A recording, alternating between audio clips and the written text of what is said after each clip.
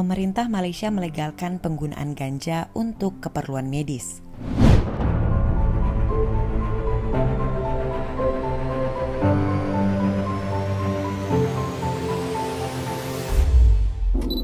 Pelegalan ini merujuk ke undang-undang yang tak melarang penggunaan ganja untuk keperluan pengobatan.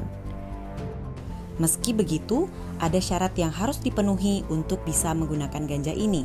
Misalnya, ada bukti ilmiah yang cukup, meninjau aspek kualitas dan keamanan, dan sudah terdaftar di lembaga Drug Control Authority (DCA).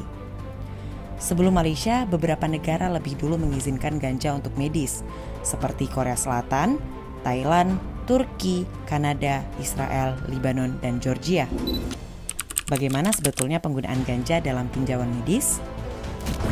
Ganja punya senyawa kimia alami bernama cannabidiol yang sifatnya tak memabukkan. Kandungan senyawa ini biasa digunakan untuk kepentingan medis. Ia dilaporkan ampuh mengatasi insomnia, kecemasan, meredakan rasa sakit, hingga mengobati epilepsi. Secara khusus, ganja bisa meringankan rasa sakit pada pasien multiple sclerosis. Meski begitu, klaim efektivitasnya masih terus dievaluasi secara kritis dan hati-hati. Penggunaan ganja sebagai obat pun harus dalam pengawasan dokter. Lantas, bagaimana dengan Indonesia? Indonesia melarang penggunaan ganja untuk kebutuhan medis. Di Indonesia, ganja terkualifikasi sebagai narkotika golongan 1. Ia diatur dalam Undang-Undang Nomor 35 Tahun 2009 tentang narkotika. Pada 2020, Kementerian Pertanian sempat memasukkan ganja sebagai tanaman obat komoditas. Belakangan, aturan ini dicabut dengan dalih dikaji ulang. Pelarangan ganja pun dianggap bikin pasien menderita.